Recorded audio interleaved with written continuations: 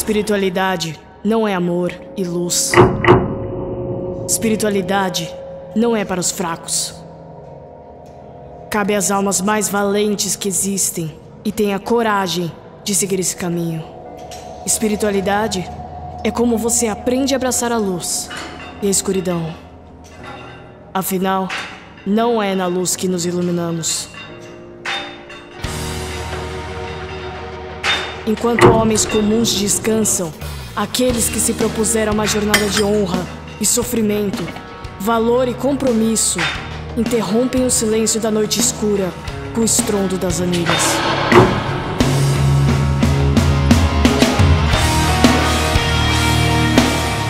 Para eles, os nós da superficialidade se desatam. E hoje, a longa jornada de se tornarem aquilo que em vida muitos querem, mas poucos conseguem, começa.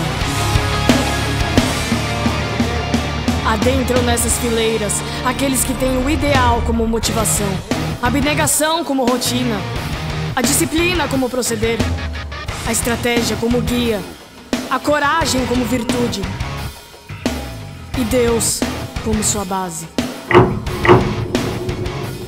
E aqueles que até o fim da caminhada sustentarem o peso do manto negro da caveira serão coroados com o símbolo da vitória.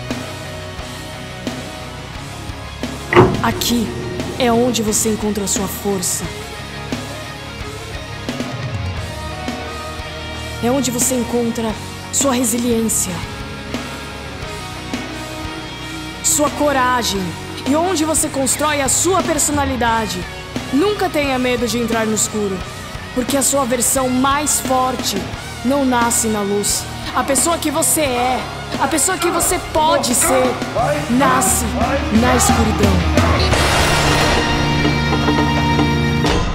Darkness, the nation under iron.